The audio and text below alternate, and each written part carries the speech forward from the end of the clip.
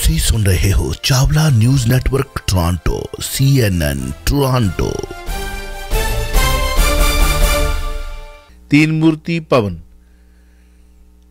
ਤੀਨ ਮੂਰਤੀ ਭਵਨ ਮੇਰੇ ਖਿਆਲ ਦੇ ਵਿੱਚ ਇਹ ਇਤਿਹਾਸ ਦੇ ਵਿੱਚ ਕਈ ਵਾਰ ਪੜਨ ਨੂੰ ਮਿਲਦਾ। ਉਹਦਾ ਨਾਮ ਬਦਲ ਕੇ ਲਾਲ ਬਹਾਦਰ ਸ਼ਾਸਤਰੀ ਜੀ ਨੇ ਨਹਿਰੂ ਮਿਊਜ਼ੀਅਮ ਕਰ ਦਿੱਤਾ ਸੀ ਯਾਦ ਹੋਵੇਗਾ। ਹੁਣ ਉਸ ਦਾ ਨਾਮ ਬਦਲ ਕੇ ਭਾਜਪਾ ਦੀ ਕੇਂਦਰ ਸਰਕਾਰ ਨੇ ਪੀਐਮ ਮਿਊਜ਼ੀਅਮ ਕੀਤਾ। ਸਿਆਸਤ ਦਾ ਗਰਬਾਰੀ ਹੈ। ਵੱਡੀਆਂ ਵੱਡੀਆਂ ਥਾਵਾਂ ਦੇ ਨਾਂ ਬਦਲੇ ਜਾ ਰਹੇ ਨੇ ਸ਼ਹਿਰਾਂ ਦੇ ਨਾਂ ਚੇਂਜ ਹੋ ਰਹੇ ਨੇ ਸਿਟੀਜ਼ ਦੇ ਨਾਂ ਚੇਂਜ ਹੋ ਰਹੇ ਨੇ ਸੰਸਥਾਵਾਂ ਦੇ ਨਾਂ ਚੇਂਜ ਹੋ ਰਹੇ ਨੇ। ਅਗਲੀ ਕਿਹੜੀ ਵਾਰੀ ਹੈ? ਬਾਰੀ ਤਾਂ ਇਸ ਦੇ ਵਿੱਚ ਸਭ ਹੋ ਸਕਦੀ ਹੈ ਬਾਰੀ ਦਿੱਲੀ ਵਾਲਾ 에어ਪੋਰਟ ਤੇ ਨਹੀਂ ਕਦੇ ਨਾਂ ਬਦਲਣ ਦੀ ਤਿਆਰੀ ਲਿਸਟ ਦੇ ਵਿੱਚ? ਇੰਦਰਾ ਗਾਂਧੀ ਦਾ 에어ਪੋਰਟ ਬਦਲਣ ਦੀ ਤਿਆਰੀ ਤਾਂ ਬਹੁਤ ਦੇਰ ਤੋਂ ਚੱਲ ਰਹੀ ਹੈ। ਬਹੁਤ ਦੇਰ ਤੋਂ ਉਹਨਾਂ ਦਾ ਪ੍ਰਪੋਜ਼ਲ ਹੈਗੀ ਹੈ ਵਿੱਚ ਉਹਦੇ ਵੀ ਕਿਤੇ ਨਾ ਕਿਤੇ ਕੋਈ ਕੋਈ ਲਕੂਨਾ ਮਿਲੇ ਆਪਾਂ ਨਾਂ ਬਦਲ ਦਈਏ ਦਾ।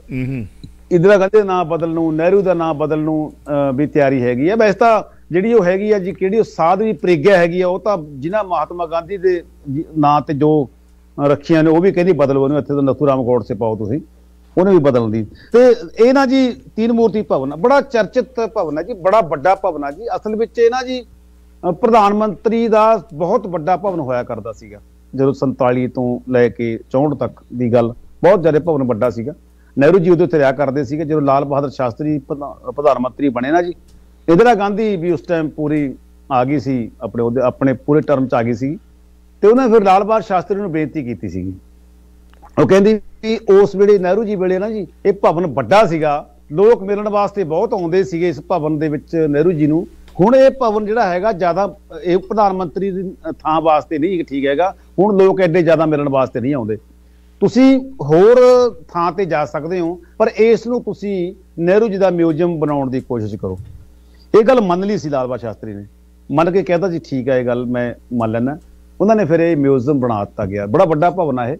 ਮਿਊਜ਼ੀਅਮ ਬਣਾ ਦਿੱਤਾ ਸੀਗਾ ਤੇ ਇਸ ਮਿਊਜ਼ੀਅਮ ਦੇ ਵਿੱਚ ਨਾ ਜੀ, ਤੇ ਲਾਲ ਨਹਿਰੂ ਦੀਆਂ ਬਹੁਤ ਯਾਦਾਂ ਨੇ। ਉਸ ਤੋਂ ਬਾਅਦ ਪ੍ਰਧਾਨ ਮੰਤਰੀ, ਜਿਹੜੇ ਪ੍ਰਧਾਨ ਮੰਤਰੀ ਇੱਥੇ ਬਣਦੇ ਰਹੇ ਜੀ, ਉਹਨਾਂ ਦਾ ਉੱਥੇ ਜ਼ਿਆਦਾ ਯਾਦਾਂ ਬਣਦੀਆਂ ਗਈਆਂ। ਉੱਥੇ ਨਾਲ ਬਣਦੇ ਗਏ।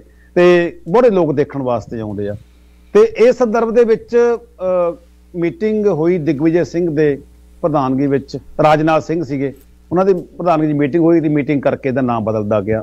ਨਾਮ ਬਦਲਿਆ ਗਿਆ ਤੇ ਰਾਹੁਲ ਨੂੰ ਪੁੱਛਣ ਲੱਗੇ ਵੀ ਕਿਉਂ ਬਦਲਿਆ? ਕਹਿੰਦੇ ਵੀ ਨਹਿਰੂ ਕਰਮਾ ਕਰਕੇ ਜਾਣਦੇ ਆ, ਨਾਮ ਕਰਕੇ ਨੇ ਉਹਨਾਂ ਉਹਨਾਂ ਦੇ ਕਰਮ ਬੋਲਦੇ ਆ, ਦੇਸ਼ ਨੂੰ, ਦੇਸ਼ ਦੇ ਪ੍ਰਤੀ ਉਹਨਾਂ ਦੇ ਕਰਮ ਬੋਲਦੇ ਆ। ਕਹਿੰਦੇ ਜਿਹੜੇ ਇਹ ਹੋਣ ਵਾਲੇ ਨੇ, ਇਹਨਾਂ ਦੇ ਕਿਹੜੇ ਕਰਮ ਨੇ ਦੇਸ਼ ਦੀ ਆਜ਼ਾਦੀ ਕਰਾਉਣ ਵਾਸਤੇ? ਇਹ ਕੀ ਨਾਮ ਕਿਹੜਾ ਨਾਮ ਰੱਖਣਗੇ ਆਪਣਾ? ਹਾਂ ਦੱਸ ਦਈਏ ਕਿ ਪਿਛਲੀ ਵਾਰੀ ਵੀ ਜਿਹੜਾ ਗੁਜਰਾਤ ਦੇ ਵਿੱਚ ਬਹੁਤ ਵੱਡਾ ਕ੍ਰਿਕਟ ਸਟੇਡੀਅਮ ਆ ਉਹਦਾ ਨਾਮ ਬਦਲ ਕੇ ਨਰਿੰਦਰ ਮੋਦੀ ਸਟੇਡੀਅਮ ਰੱਖ ਦਿੱਤਾ ਗਿਆ ਸੀਗਾ। ਤੇ ਇਦਾਂ ਦੇ ਹੋਰ ਵੀ ਨਾਮ ਜੀ। ਰੱਖੇ ਜਾਣ ਦੀ ਸੁਭਾਅ ਹੈਗੀ ਹੈ ਚੌੜਾ ਸਾਹਿਬ ਵਿਕਾਂਜੂ ਜੀ ਕੁਝ ਕਹਿਣਾ ਚਾਹੁੰਦੇ ਇਸ ਤ੍ਰਿਮੂਰਤੀ ਭਵਨ ਚ ਮੈਂ ਵੀ ਗਈ ਹਾਂ ਦਿਲਬਾਗ ਜੀ ਜਦ 14 ਨਵੰਬਰ ਦੇ ਵਿੱਚ ਬੱਚਿਆਂ ਦੇ ਲਈ ਪੇਂਟਿੰਗ ਕੰਪੀਟੀਸ਼ਨਸ ਹੁੰਦੇ ਸੀ ਦਿੱਲੀ ਜਦ ਮੈਂ ਸਕੂਲ ਚ ਪੜ੍ਹਦੀ ਮੈਂ ਅੱਛੀ ਤਰ੍ਹਾਂ ਯਾਦ ਹੈ। ਔਰ ਉਸ ਪੇਂਟਿੰਗ ਕੰਪੀਟੀਸ਼ਨ ਵਿੱਚ ਪਾਰਟਿਸਿਪੇਟ ਯਾਦਾਂ ਤਾਜ਼ੀਆਂ ਹੋ ਗਈਆਂ ਫਿਰ ਯਾਦਾਂ ਤਾਜ਼ੀ ਹੋ ਗਈਆਂ ਯਾਰ ਤ੍ਰਿਮੂਰਤੀ ਕਿਆ ਭਵਨ ਬੜਾ ਫੇਮਸ ਹੈ ਆਪਣੇ ਆਪ ਦੇ ਵਿੱਚ ਇੱਕ ਇਮਾਰਤ ਖੂਬ ਆਲੀਸ਼ਾਨ ਇਮਾਰਤ ਹੈ ਜੋ ਕਿ ਜਗਮਗਾਉਂਦੀ ਹੈ ਜੀ ਕੀ ਬਾਤ ਹੈ ਜੀ ਤੁਸੀਂ ਸੁਣ ਰਹੇ ਹੋ Chawla news network Toronto CNN Toronto